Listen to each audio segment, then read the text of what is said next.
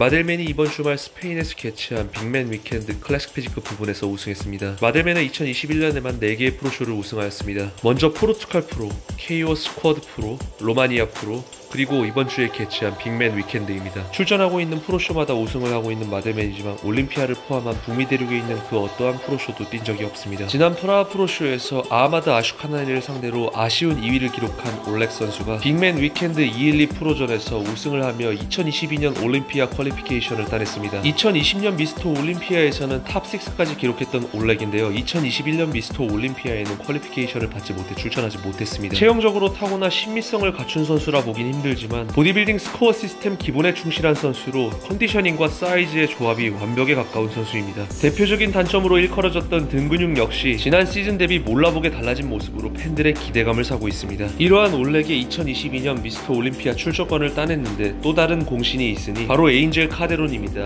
에인젤 카데론 역시 올렉과 마찬가지로 빅맨 위켄드에 출전하였습니다. 212 보디빌딩이 아닌 오픈 보디빌딩으로 말입니다. 에인젤은 지난 루마 니아 프로 212 보디빌딩 우승은 물론 2022 2021년 미스터 올림피아에서 4위를 기록하면서 2022년 미스터 올림피아는 프로쇼를 거치지 않고서도 이미 진출이 확정된 상태였습니다. 팀 동료인 올렉의 2022년 미스터 올림피아 진출을 위해서 men's 오픈 보디빌딩에 도전한 에인젤 카데로는 2021년 하반기 핫한 주목을 받고 있는 만 22세의 바디빌더 아미르 선수와 대결 구도를 펼쳤습니다. men's 오픈 보디빌더들과 경쟁하기에는 단신축에 속하는 에인젤 카데론이지만 212 보디빌딩 한계 체중 96kg을 간신히 맞추 는 프레임 대비 거대한 선수입니다. 물론 숀 클라리다가 우승했던 리전 스포츠 페스트처럼 men's 오픈 보디빌더들 중에 강자 선수들이 대거 출전한 시합은 아니었지만 안젤 카데로는 아미르를 상대로 우승합니다. 같은 날 브라질에서 개최한 머슬 콘테스트 브라질 클래식 physique 부문에선 2021년 미스터 올림피아 탑5를 기록한 라몬 로차 선수와 2021년 푸에토리코 프로를 우승하면서 올림피아에 진출한 브라질의 가브리엘 장카넬리 선수가 탑2의 자리에서 경쟁을 하였습니다. 브라질을 대표한 두 명의 젊은 선수이지만 2021년 미스터 올림피아에서 순위를 받지 못했던 가브리엘 선수와 달리